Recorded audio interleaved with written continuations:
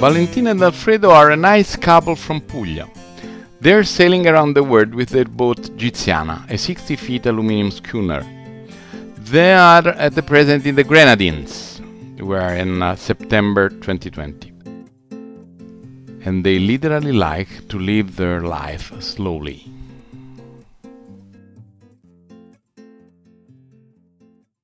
Beh, grande mossa. Gran... Mi sono preso il tempo di, diritto perché ritenevo che mi spettasse e dopo una lunga penosa malattia presi la decisione di lasciare completamente il, il, e di, di, tagliare completamente il cordone ombelicale che mi teneva legato al, a questo lavoro dell'ufficio e, e basta. Poi da allora non sono più sceso dalla barca praticamente. Cioè, in fondo per lui era facile, bastava cambiare una lettera a Giampaolo. Lui lavorava in banca, ha tolto la N, ha messo una R e ha preso una barca, quindi ha, ha, cambiato barca. Dalla banca alla barca, sì. Bello, però è una bella scelta questa qui di, di mollare e partire. Eh? Sì, tuttora eh, rimane una bella scelta, non mi sono mai pentito di averlo fatto e non vedo come possa tornare indietro oramai, cioè, neanche pagato, tra virgolette. Capisco. Senti, come ha cambiato i programmi di navigazione la pandemia? Dove siete adesso?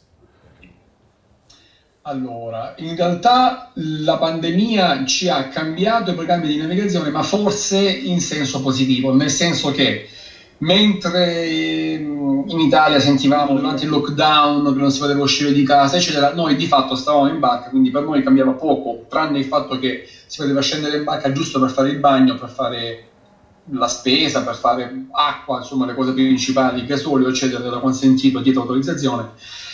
Di fatto mh, mm, in Martinica, giusto? Se non che non potevamo scendere a terra a fare delle passeggiate e invece e il Covid ci ha costretto poi a stare fermi in un punto, questo punto è stato le isole francesi della Martinica e Guadalupe, quindi non, non ci è pesato tantissimo, ci ha fatto fare semplicemente una lunga convalescenza caraibica, diciamo. Ecco, adesso che il lockdown è finito, ci stiamo riprendendo a muovere. Chiaramente il lockdown ha distrutto tutti i programmi precedenti per, per ovvie ragioni meteorologiche, perché ci si può spostare solo diciamo, in determinati periodi di tempo, non sempre. E quindi adesso siamo qui nelle Grenadine, nell'isola Grenadine, e piano piano stiamo scendendo verso sud. E poi vedremo insomma se faremo il piano B, il piano C, il piano D, ancora non lo sappiamo che ognuna di queste isole, eh, che siano le Granadine, che sia Granada, che siano le San Blas, ma ogni tratta che tu fai è soggetta poi, no? sono state diverse, sono soggette anche a, a, restrizioni differenti, per esempio le San Blas sono chiuse, Trinidad è chiusa. Colombo è chiusa. Quindi è inutile, mh, mm, ti costringe a vivere la giornata eh, passare troppo velocemente da, da, queste terre sarebbe stato un peccato. Senti, mi raccontate di Giziana? Allora, io ero molto innamorata della precedente barca che era Blue Bone, devo fare questa piccola promessa, perché che era una bellissima barca. Eh, Alfredo però aveva queste mire oceaniche eh, e quindi cercava una barca più, più, sicura. Si chiamava, come si chiamava? Si chiamava Saravà. Saravà e, e, faceva, diciamo, mercanteggiava arte. Eh, in maniera non molto lecita. In alcuni serbatoi che tuttora ci sono, con sottofondo nascosto, anche altro. E lui si è innamorato di colpo di Giziana. Di che anno è?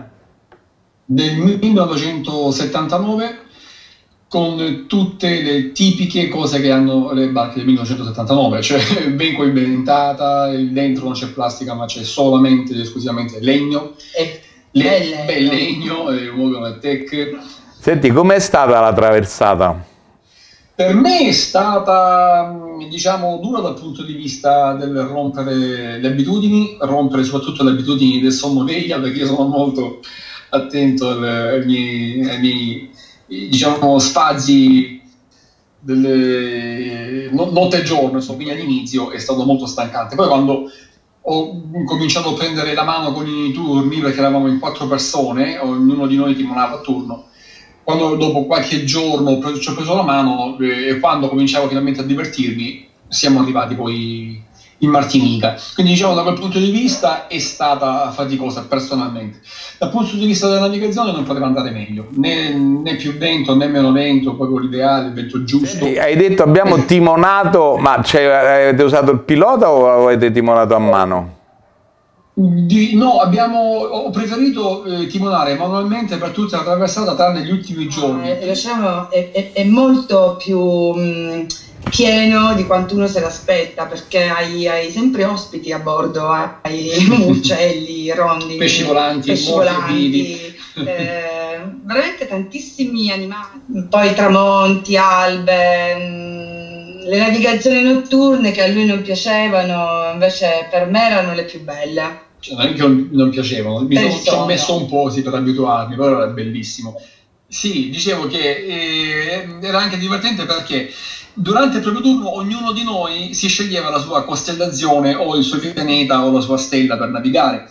Durante il mio orario io avevo Sirio, no, da, io, ah, tu avevi Sirio, Venere. io avevo Venere, no, avevo Venere che stava a 270 gradi spaccata proprio, cioè lei praticamente sorgeva con, con me e finiva il mio turno e andava via. Poi chi stava, chi stava dopo di me prendeva un'altra stella. Cioè, in pratica facevamo navigazione astronomica durante, durante, la notte, la busta raramente. La... E poi vabbè, la notte vedi delle cose incredibili, perché a parte questo mm, cielo pieno pieno di stelle, ma ehm, sono, quando passano i delfini di notte passano delle scie così come delle code di drago, tutte luminose perché sono illuminate dal plankton iridescente. La scia della barca è costantemente illuminata di plankton iridescente, lo stesso per i pesci volanti, quindi veramente ti sembra di avere stelle sopra, stelle sotto. Ehm, eh, un'esperienza direi quasi mistica.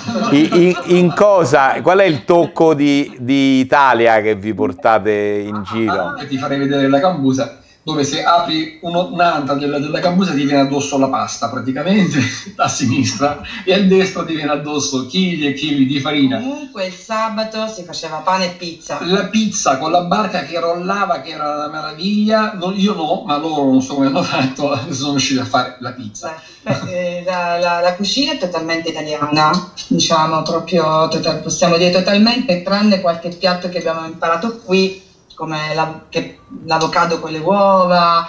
Allora, un momento di tensione, un momento felice e un momento di estasi. Eh, navigazioni. Per me la tensione più grande è stato il primo uragano, che comunque ah. è vero che poi si è esaurito prima di raggiungerci, però fino a, diciamo, al giorno prima, neanche al giorno stesso, c'era questo Gonzalo che era una, un avviso di uragano che non si capiva se le previsioni dicevano che sarebbe andato a San Vincent o a Santa Lucia, e noi eravamo giusto nell'isola dopo, altro di Granada, comunque era in avvicinamento un uragano, per cui alla fine era difficile anche capire dove affrontarlo, per cui tutto, tutto il preparativo, anche le, le altre barche, erano, gli altri armatori erano tesi, abbiamo messo due ancore, abbiamo scelto un posto più o meno sicure. Tre ancore, e, abbiamo passato tre posti prima di, di deciderci a passarlo lì. Poi va bene, Gonzalo non è diventato, è diventato se li è, fatto prima di arrivare. Solo, però quello per me è stato un momento di tensione. Mm. Poi, Poi un momento di f- felicità e un momento di estasi. Poi la felicità è duratura, eh? perché non hai tante... Allora, qui sono, fe- sono felici le persone intorno a te intanto e quindi te la trasmettono. Per me qui nelle Granadine eh, è stato il momento forse più da, da quando da quando abbiamo ricominciato a navigare è stato proprio un crescendo. Personalmente, e quando mo, non me ne vogliono ah. tutti i miei amici e non pescatori, eccetera, anch'io pesco ogni tanto, però il momento di, di, mio di felicità è quando scendo sott'acqua, attacco ad uno scoglietto così e sto lì in apnea e beh, mi, sono, mi, vedo tutto circondato da, da, da, da pesciolini di ogni cioè, là sono veramente felice. Beh, anch'io. C'è un silenzio sotto. è una, veramente una, una pace, non è mai arrivato un predatore. Lei, momento di vista, sì, mm, per me è la prima notte. Come sei? Le prime notti. La prima notte in mare nero con, eh, i, i, con il plankton da tutte le parti, i delfini che saltavano, le stelle cadenti. Per me quello è stato l'estasi. Eh, questa stella che ma, emana questi raggi, credo che sia Sirio, poi eh, bianco, rosso e blu, guarda, ti sembri un puntino nel se, ti mm. senti un puntino nel creato e quindi immagini che tutto sia così, tutto sia un puntino nel creato, mm. meraviglioso. E, ehm, per me quando sono arrivato qui in Martinica, quando proprio la tipica frase terra, ecco, è stato quello, quando ho visto